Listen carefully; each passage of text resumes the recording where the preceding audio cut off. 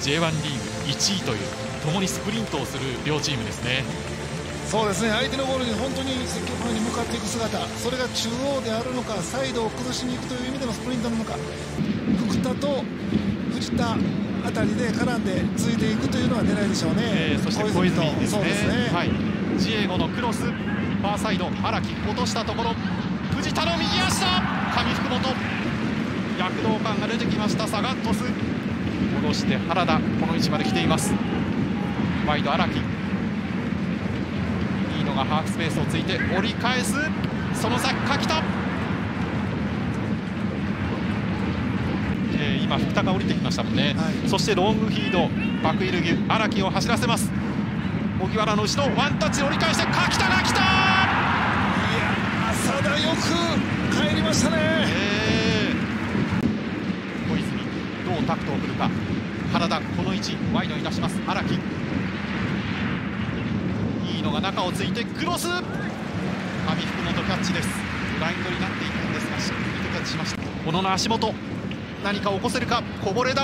本田のシュート。ホイッスルが鳴っています。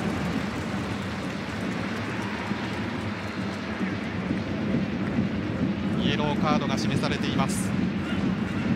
メンデスに対してイエロー。このウタカのヘディングの折り返しのところを、はい、小野に入ったんですよね。小野に入った時に浅田のマッチアップのところで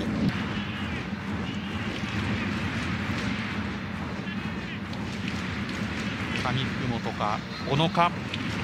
いろいろ過激していますね上福本は、はい、そうですね。ただ小野はボールをじっと見つめています小野が決めました。